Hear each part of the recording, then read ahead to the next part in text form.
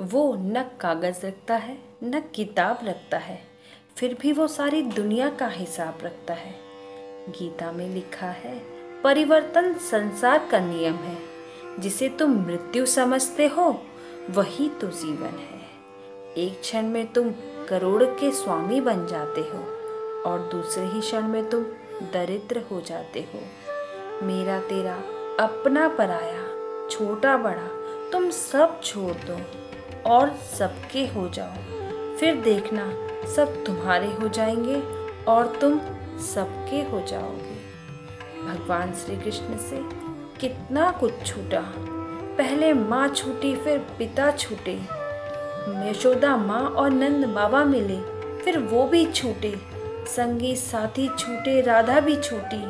गोकुल छूटा, फिर मथुरा भी छूटा। श्री कृष्ण से जीवन भर कुछ ना कुछ छूटता ही रहा। अगर कुछ नहीं छूटा तो वो है उनका देवत्व। उनकी मुस्कान और उनकी सकारात्मकता।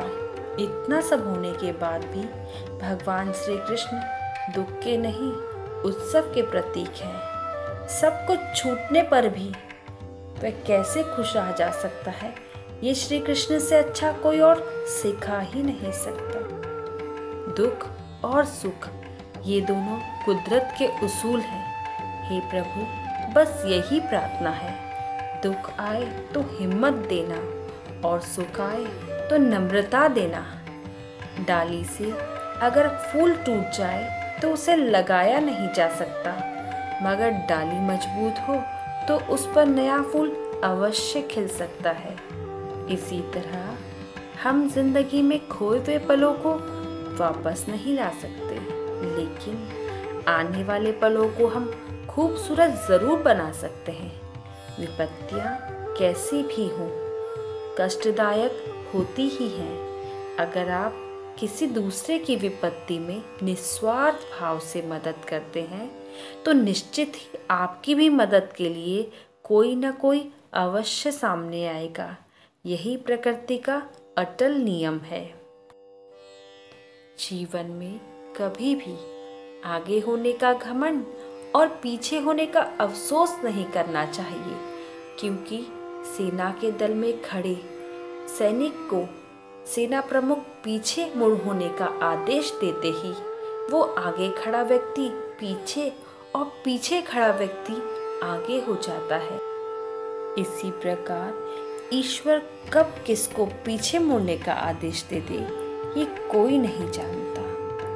इंसान। घर बदलता है, लिबास बदलता है और रिश्ते भी बदलता है, दोस्त बदलता है। फिर भी वो परेशान रहता है क्योंकि वो खुद को नहीं बदलता। उम्र भर गालिब यही भूल करता रहा। धूल चेहरे पर थी, पर वो आईना साफ़ करता रहा। ज़िंदगी जीनी है तो तकलीफ़ तो होंगी ही, वरना मरने के बाद तो जलने का एहसास भी नहीं होता। जब एक दरवाज़ा बंद हो जाता है तो कुदरत दूसरा दरवाज़ा अपने आप खोल देती है। पर हम अक्सर बंद दरवाजे को इतने अफसोस और निराशा से देखते रहते हैं कि हमें वो दरवाज़ा दिखाई ही नहीं देता, जो कुदरत ने हमारे लिए खोला है। रोज़ाना मंदिर जाना उत्तम है। रोज़ाना जप करना भी उत्तम है। रोज़ाना गीता पढ़ना भी उत्तम है। लेकिन अपने अंदर झाँक कर देखना कि इतना करने के बाद भी आपके अंदर कोई परिवर्तन हुआ क्या? कुछ पराए अपने से लगने लगे हैं क्या? प्रकृति की धीमी धीमी आवाज़ आपके मन को भाने लगी। क्या कभी कभी बिना कारण आपकी आँखें भर आती हैं। क्या कभी कभी ऐसा लगता है कि पेड़ पौधे आपसे बातें करना चाहते हैं? क्या कभी ऐसा लगता है खिलता हुआ फूल आपसे मिलना चाहता है? जब आपको ऐसा लगने लगे कि आप अकेले नहीं, पूरा ब्रह्मांड आपके साथ है तो समझ जाना कि आप सही राह पर हैं। एक पंछी जब घोंसले की नींव लगता है तो कितनी मेहनत से वो तिनका तिनका बटोरता है और घोंसले तक ले जाकर उसका निर्माण करता है। अपने बच्चों के लिए एक सुरक्षित घर का निर्माण करता है। फिर ज़ोर से आंधी आती है और घोंसले को तोड़कर उसका तिनका तिनका बिखेर देती है। लेकिन वो पक्षी रोता नहीं, विलाप नहीं करता। बिना किसी विलम्ब के, वो अपने घोंसले को फिर से बनाने की तैयारी करता है और अपना घोंसला फिर से तिनका तिनका जोड़ कर बनाता है।